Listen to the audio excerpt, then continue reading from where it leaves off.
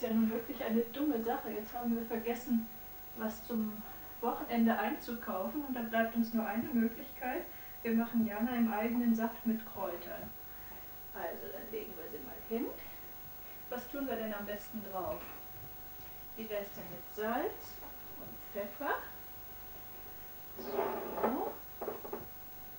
Salz, lecker. Pfeffer. Ja, gut verteilen. Wir könnten sie natürlich auch noch mit ein paar Lorbeerblättern spicken. So. Ich glaube, Knoblauch haben wir nicht. Naja, machen wir es mal so. Ne? So. Äh, möchtest du Senf drauf haben oder meinst du, es reicht? Ich glaube, das ist in Ordnung. Ne? So, gut verteilen die Gewürze. Und dann kommt sie in die Mikrowellen hier. Das geht am schnellsten. So, dann kommen wir her.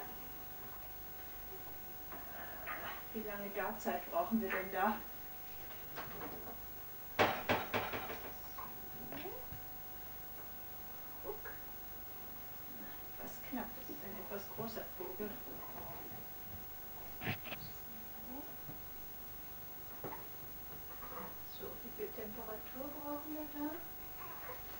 Ich glaube, auf 75 Grad reicht es, ne? Mhm.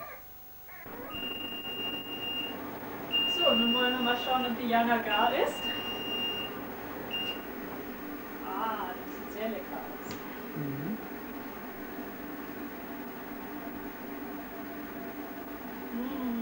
Das nicht köstlich? Ich glaube, das sollten wir öfter mal machen. Mmh. Echt toll, ne? So, dann stellen wir So, dann brauchen wir nur noch die Knoblauchspaghetti fertig zu machen